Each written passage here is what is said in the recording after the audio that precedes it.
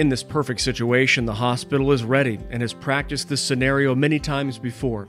While the clinical teams are attempting to save as many lives as possible, Incident Command is in the background, focused on staff, stuff, structure, and systems.